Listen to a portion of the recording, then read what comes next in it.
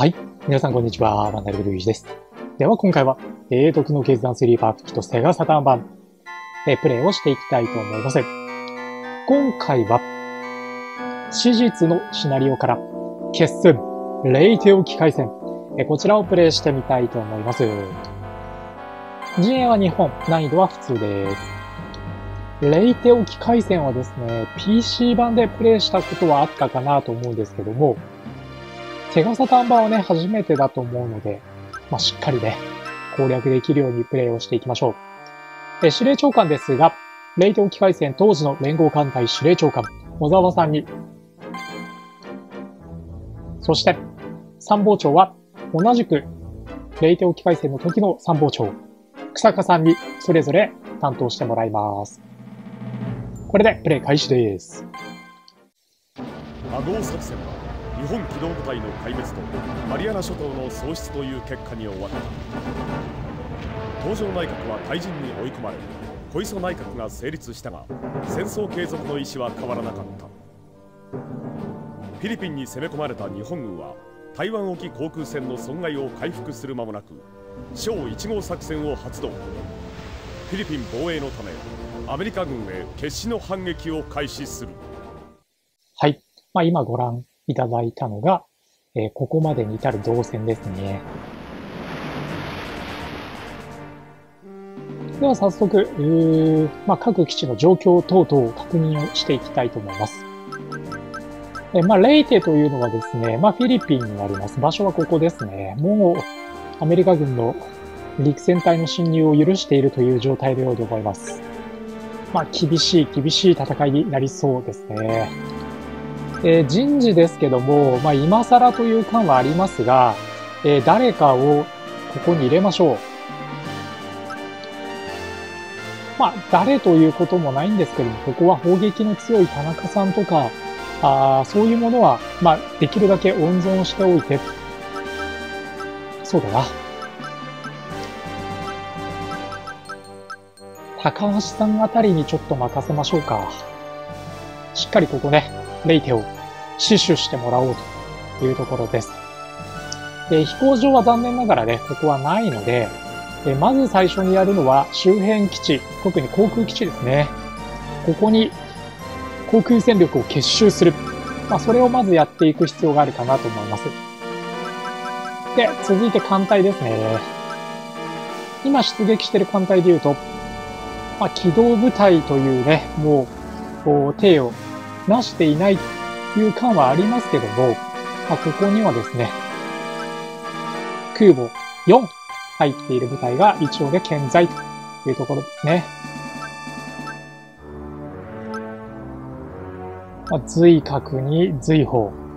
まあ、随砲に関しては、もう完全に軽空母。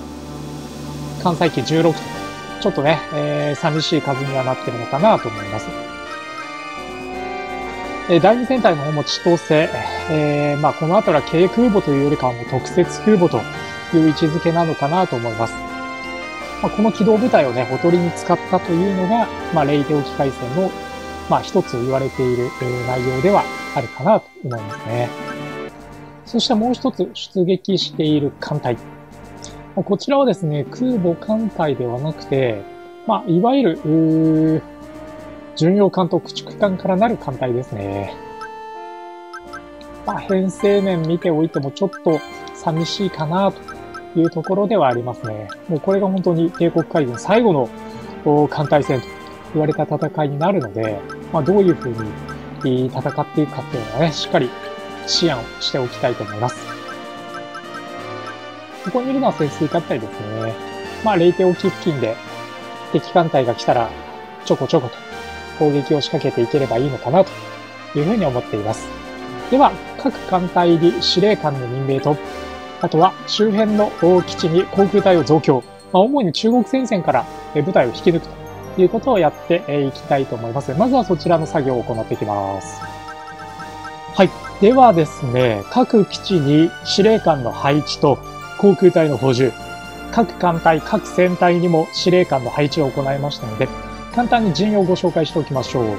まずはですね、マニラ。まあ、ここはですね、敵艦隊を迎え撃つための航空隊の中心をなす、まあ、そういう位置にいる部隊なので、まあ、しっかりと補充をしてあります。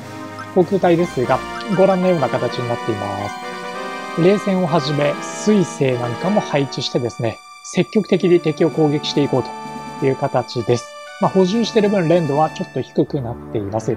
まあ、これは仕方がないですね。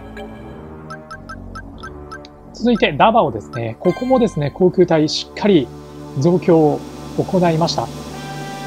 司令官には塚原さんについてもらっています。航空隊。ご覧のような陣容です。ここも冷戦に、あとは天山水星、この辺りを集中的に配備しました。えタウイタウイにも意識立候なんかを配置してあります。そして、ちょっと今回賭けに出たんですが、台湾。ここはですね、ちょっとフィリピンまで遠い位置にあるんですけども、大森仙太郎さん。これを、この台湾の基地司令に任命して、賭けとなる一式立候部隊ですね。ずらっと一式立候を、まあ、200機近く並べましたので、これで、片道になるかもしれないですが、アメリカ軍機動部隊に攻撃を仕掛けてもらおうと。まあ、そういう作戦ですね。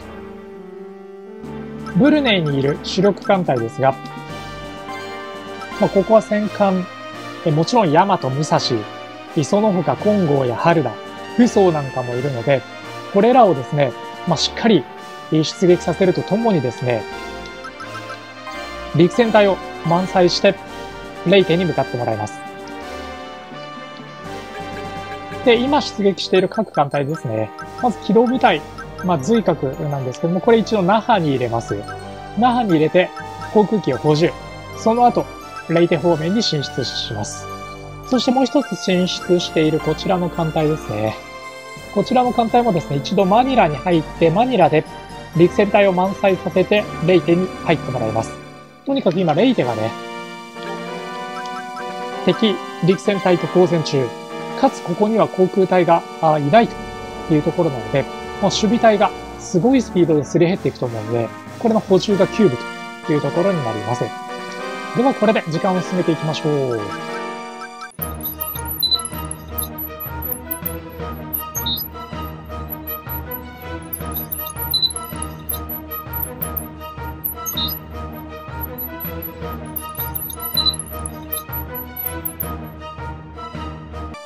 トラックなんかはですね、敵基地航空隊、あるいは敵艦隊からの艦載機、これの攻撃機にさらされたとしてももう、え我慢、我慢、我慢という戦いになると思います。まあ、グアムから空襲を受ける形ですね。まず、第3艦隊が敵艦隊発見しています。まだちょっと距離ありますので、まずは追撃して距離を詰めましょう。その数13ということなので、まあ、あの、潜水艦隊とか、まあ、その手の類のものかなと思いますね。さあ、第2艦隊も敵を捉えていますが、同じく距離が遠いので追撃戦に移ります。まあ、あまり深追いはしないようにはしたいと思います。では、第5艦隊ですね、一度マニラに入りましたので、ここで輸送船と航空隊を補充して、うん、陸戦隊を補充して、急ぎレイテに部隊を送り届けましょう。まあ、すり減っていくであろう、レイテのね、陸戦隊を補給する、補充する、まあ、そういう意味合いになります。では、敵の艦隊ですね。まあ、13隻しかいない、まあ、潜水艦隊と思われる艦隊いますが、これに攻撃仕掛けるだけ仕掛けておきましょう。まあ、どういうものかというのも確認する意味でも重要かなと思います。第3艦隊ですね。ここは、金剛がいる艦隊です。まずは敵部隊ですね。うん。まあ、やはり、これは潜水艦隊ですね。まあ、特に交戦する必要もないかなと思いますので、この艦隊は無視して進みましょう。はい。敵艦隊発見してます。まあ、空撃加えられるときに一度加えておきましょう。もしかしたらね、直縁体あんまり上がってないなんていうラッキーもあるかもしれないですからね。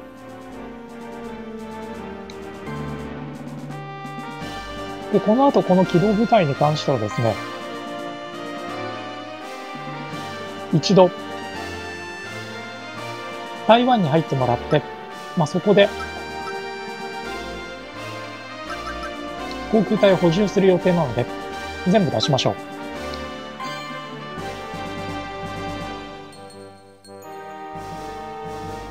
敵の直縁機75か。完全に外しましたね。ただこの後マニラの航空隊が一撃を加えられる位置にはいるので、まああの、ここはですね、前期、えー、撤退という形を取りましょう。まず発見した敵の艦隊ですね。空母4、戦艦2、重要艦4という艦隊ですね。輸送船24という数を考えると陸戦隊を積んでいると思われます。0点に関しては敵の第一陣を、えー、跳ねのけることに成功したので、まあ、この間にですね、輸送船と陸戦隊を補充できるだけ補充しちゃいましょう。まあ、ちょっとでもこの間に防御力を増やしておきたい。まあ、そういう、まあ、悪あがきにも近い内容にはなりますけどね、しっかりやっておきたいと思います。まあ、レイテの方ですが、敵基地の、まあ、航空隊なのか、あるいは敵の艦隊の航空隊なのか、いずれにしてもだいぶダメージが蓄積してきてますね。第7艦隊が、まあ、これ潜水艦隊になりますけども、え、完全に喪失してます。なので、前線のまあ、紹介活動を行っている部隊が皆無になったというところですね。レイテは敵の航空隊攻撃を受けています。ちょうどタイミングが悪くてですね、今、あのー、艦隊が陸戦隊を補充するために入ったところなんですね。これ狙い撃ちされますね。まあ、ちょっと月がなかったとしか言いようがないんですが、まあ、それでも、虎の子の陸戦隊を下ろしましょう、しっかり。で、この第5艦隊に関しては、再び出港してもらって、そこで、陸戦隊を積んで戻ってきてもらいます。マニラがいいですね。マニラに行って、マニラから陸戦隊を積んで、またレイテに戻ってきてもらう。まあ、この往復をね、してもらおうというふうに思います。その第5艦隊、マニラに戻る途中で、アメリカのように、第5艦隊と航空隊に攻撃を受けて壊滅しています。まだ十分に敵の位置が確認できていない中、早々に、えー、この輸送船をね、引き連れている艦隊がやられてしまったというのは、かなり痛手ではありますね。ではまたレイテに部隊を下ろしましょう。もうとにかくレイテがすり減ってすり減ってしょうがないっていう状態なので、まあ、ここはね、あのー、まあ、ちょっとでも多くの部隊を下ろしていくっていうことをやりたいと思います。えそしたらこの西村さんの艦隊、第4艦隊ですが、これもですね、まあ、さっき、島さんの第5艦隊はその任務に失敗してしまいましたけども、マニラに行って、航空隊、うん、陸戦隊を積んで戻ってきてもらいたいと思います。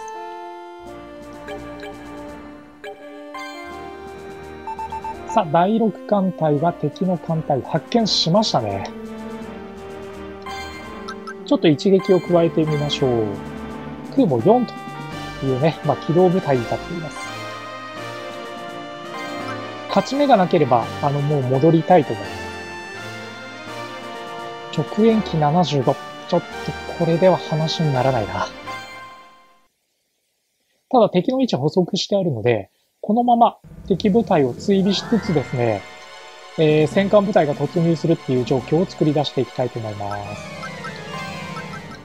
さあ、高尾、まあ、つまり台湾の基地航空隊ですね。さすがに石切りこう距離が長い。これで、敵の艦隊を狙い撃ちしましょう。212機。前期出撃します。えー、全部雷装でいいですね。魚雷で出撃しましょう。前期出撃です。敵の直縁機たかだか20機足らずにもかかわらず、味方の攻撃機、もちろんね、その直縁がいない、え護衛機がいないっていうのはあるんですけども、それともここまで減るかというぐらい減りましたね。さあ、マニラの基地航空隊ですね。ここはもう連続攻撃仕掛けていきましょう。今度はね、ちゃんと護衛機も飛べる環境なので、まあ、しっかり護衛機も出してですね、えー、敵をね、仕留めていきたいと思います。まあ、空母、まあ、2機、3機、2隻、3隻と、数をどんどん減らしていけば減らしていくほどにですね、敵の直縁機の数が減っていくので戦いやすくはなるんですね。しかも今回連続攻撃なので、さらに敵の直縁の数、5機とだいぶ減ってます。これ、うーん、仕留める絶好の機会到来だというふうに思いたいですね。仕留めにかかります。まあ、ちょうど敵の直縁がいない降りているその隙に狙う。しっかり、この艦隊、撃破しておきたいですね。アメリカ軍第4艦隊。レキシントン撃沈です。はい。えー、敵正規空母レキシントン撃沈してます。アメリカ軍第4艦隊。シャーマン率いる部隊です。まあ、ここはすかさず、戦艦部隊を投入していきましょう。はい。日本軍最後の機動部隊は、何ら抵抗することができずに壊滅しています。まあ、これはもうしょうがないですね。では、続いてアメリカ軍のね、先ほど攻撃加えた第4艦隊に攻撃仕掛けていきます。今度はダバオの航空隊ですね。それとは別にレイテの近くにですね、まあおそらくアメリカ軍の第2艦隊だと思うんですけども、えー、その機動部隊が現れているので、これの攻撃も行っていけなければならないという状況にはなっています。敵系空母ラングレー撃沈してます。そしたら、この第4艦隊残っているのは軽空母2隻ということでも、航空隊はあまり脅威ではないと思うので、第4艦隊から目的を変えて、他の機動部隊へと変えていきたいと思います。不明な艦隊が、レイテの近くに徘徊してる状態ですからね。まこの艦隊をね、あのー、見過ごすわけにはいかないというところです。えー、では、長くなりましたので、今回はここまでにさせていただいて、次回ですね、またこの続きをプレイしていきたいと思いますので、皆さんの応援引き続きよろしくお願いいたします。